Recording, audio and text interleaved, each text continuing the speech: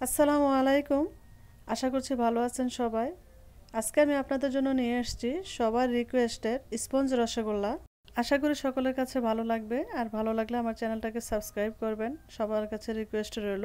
প্রথমে আমি চিনি শিরাটা করে নিচ্ছি। এর জন্য আমি একটি পাতিলে দুই কাপ চিনি দিয়ে দিচ্ছি। সেই সাথে আমি পানি দিয়ে দিচ্ছি এক লিটার, অর্থাৎ চার কাপ। এরপর আমি একটু নেড়ে নিয়ে চিনিটাকে পানির সাথে মিশিয়ে নিচ্ছি। চলুন আমাদের চিনির শিরার বলো করতে করতে আমরা ছানার প্রসেসটা করে নিচ্ছি। এখানে আমি দেড় লিটার দুধকে জাল করে আমি দেড় কাপ ছানা পেয়েছি। আপনাদেরকে আমি আরেকটি কথা বলে রাখি, যদি ভালো মানের দুধ হয়, তাহলে এক লিটার দুধ থেকে এক কাপ ছানা হয়। এখন দেড় কাপ ছানার সাথে আমি এক টেবিল চামচ পরিমাণ চিনি দিয়ে দিচ্ছি। এখন হাত দিয়ে আমি ছানাটাকে এই বলের মধ্যেই মেখে নিব।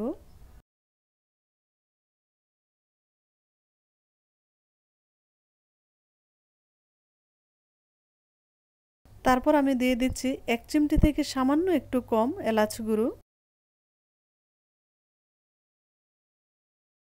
এখন আমি হাত দিয়ে খুব সুন্দরভাবে ছানাটাকে মেখে নিব। এই স্পঞ্জ রসগোল্লার ছানাকে খুব অত্যাচারিতভাবে মাখানো যাবে না, এটাকে খুব আইডিয়ালভাবে মেখে নিতে হবে। আমি ঠিক ছানাটাকে এইভাবে কসলিয়ে কসলিয়ে মেখে নিব।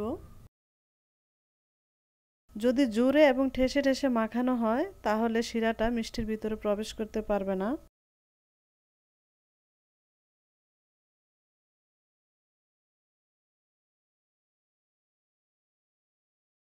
ছানাটা আমার মাখানো হয়ে গেছে। তারপর ছানার ডোটাকে হাতে নিয়ে একটু রোল করে আমি ছোট ছোট লেচি কেটে নিচ্ছি। আপনারা যে যেমন ছোট বড় করতে চান, সেটা আপনাদের ইচ্ছে। দেখতে পাচ্ছেন, আমি এতটুকু করে নিয়েছি।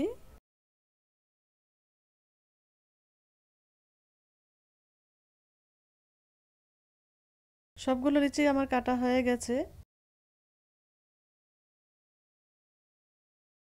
এখন আমি এখান থেকে একে একে দুই হাতের তালুর মাধ্যমে ঘুরিয়ে ঘুরিয়ে বল বানিয়ে নিব। দেখুন, আমি বলটা কীভাবে তৈরি করে নিয়েছি। বলের গায়ে কোনো ক্র্যাক বা ফাটল নেই। এইভাবে আমি সবগুলো বল বানিয়ে নিব। আমার বলগুলো বানানো হয়ে গেছে। এখন আমি সাথে সাথে চিনির শিরায় দিয়ে দিব। দিয়ে দিচ্ছি একে একে আমি চিনির শিরাতে। চুলাটাকে হাই হিটে রেখে আমি দশ মিনিটের জন্য ডেকে দিচ্ছি। আর এই দশ মিনিটের মধ্যে আমি একবারও ঢাকনাটা ওপেন করব না। আর দেখতে পাচ্ছেন, এই ছিদ্রটাকে আমি একটা টিস্যু পেপার দিয়ে বন্ধ করে দিয়েছি যাতে ভিতর থেকে বাষ্পটা বের না হতে পারে। যেহেতু দশ মিনিট ডাকনাটা খোলা যাবে না, তাহলে কি করতে হবে? এইভাবে পাতিলটাকে দুই হাতে ধরে ধুলিয়ে দিতে হবে যাতে একটার গায়ে আরেকটা বেশিক্ষণ মিষ্টি লেগে থাকতে না পারে। তা না হলে মিষ্টিগুলো একটার গায়ে আরেকটা লেগে থেকে টেপ টেপ পরে থাকবে।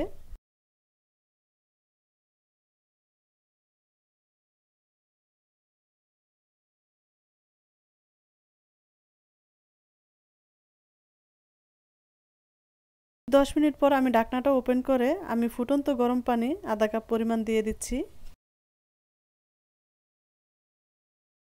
এখন আমি মিষ্টিগুলোকে নেড়ে পানিটা একটু মিশিয়ে দিচ্ছি। নেড়ে দেওয়ার পর আমি আবার ডেকে দিচ্ছি। আবার ডাকনাটা ওপেন করে আমি আধা কাপের চেয়ে একটু কম ফুটন্ত গরম পানি দিয়ে দিচ্ছি। চামিচটা দিয়ে আমি এই পর্যায়ে মিষ্টিগুলোকে একটু ধুল দিচ্ছি। এতে করে মিষ্টিগুলো শিরা অ্যাবজর্ব করে নেবে।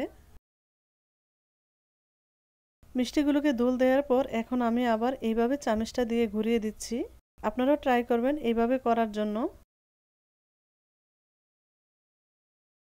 এখন একটা মিষ্টি এখান থেকে উঠিয়ে আমি চেক করে নিচ্ছি আমার মিষ্টিটা হয়েছে কিনা। আমি ছোট একটা বাটিতে কিছু পরিমাণ ঠান্ডা পানি নিয়েছি। এখন এই পানিটার মধ্যে আমি মিষ্টিটা ছেড়ে দিচ্ছি। দেখতে পাচ্ছেন, মিষ্টিটা একদম পানির নিচে ডুবে গেছে। এতে বোঝা যাচ্ছে মিষ্টিগুলো হয়ে গেছে। আমার মিষ্টিগুলো হতে সময় লেগেছে পনেরো মিনিট। এখন আমি চুলাটাকে অফ করে দিচ্ছি। এখন আমি এইভাবে মিষ্টিগুলোকে রেখে দিব ছয় থেকে সাত ঘণ্টার জন্য। ছয় ঘণ্টা পর ফিরে আসছি আপনাদেরকে পরিবেশন করে দেখানোর জন্য। এখন আপনাদেরকে আমি একটা মিষ্টি স্কোয়েজ করে দেখাচ্ছি। দেখুন, মিষ্টিটা কত সফট এবং স্পঞ্জি হয়েছে। মিষ্টিটাকে এখন আমি আবার শিরাতে দিয়ে দিচ্ছি। দেখবেন এটা আবার শিরা খেয়ে সে আগের মতোই হয়ে গেছে।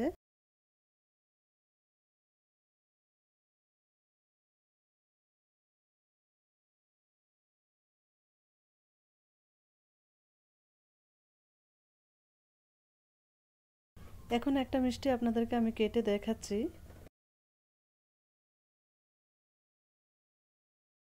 দেখতে পাচ্ছেন আমার মিষ্টির ভেতরের টেক্সচারটা কেমন হয়েছে।